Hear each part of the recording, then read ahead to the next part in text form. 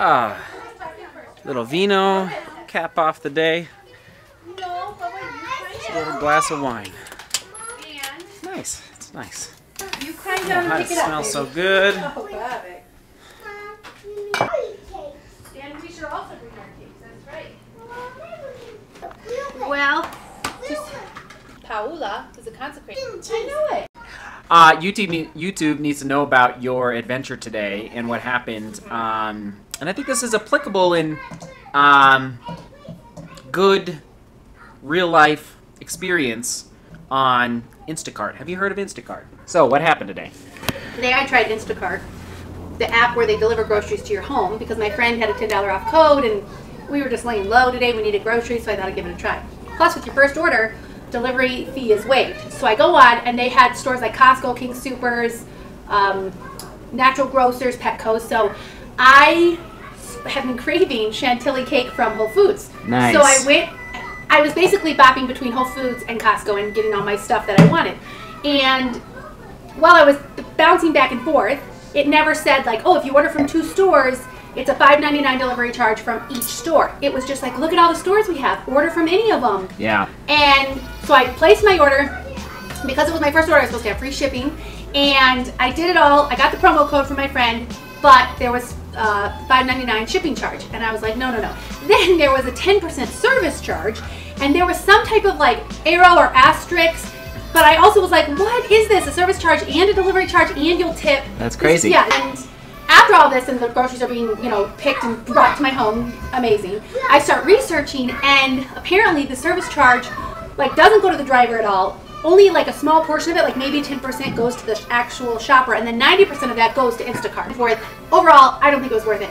And another reason why I won't do it again is because we always do Trader Joe's. We do Trader Joe's and Costco, but Costco like once a month and Yeah. Trader Joe's every week. And you just can't beat I know Trader Joe's, prices. the prices, their products, and like I know what we get and where we live there, and I can get so much for 85 bucks a week there. So I don't know. Did I do a good job?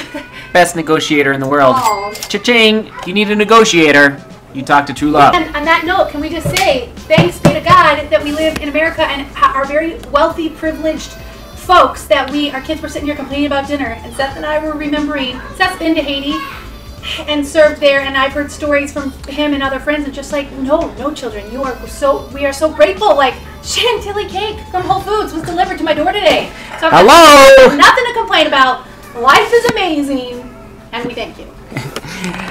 Nobody's happy. Because everything is amazing right now and nobody's happy.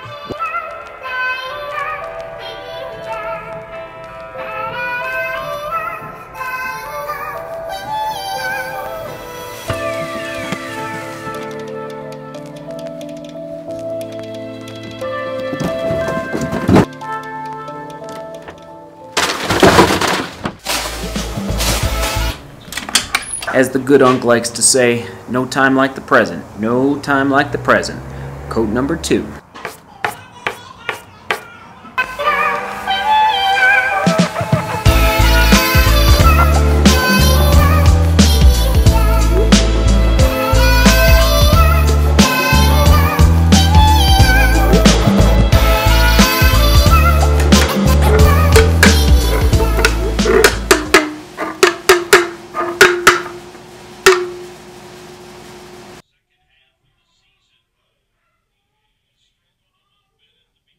Brush teeth. Ah.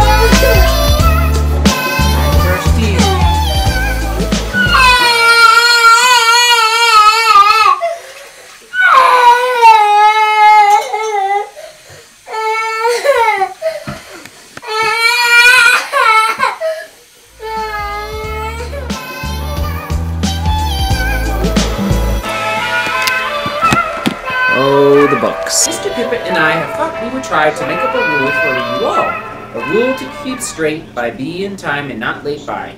And even meditate by. A rule for big children and small. I've made up these rhymes rather feeble sometimes, but better than no rhymes at all.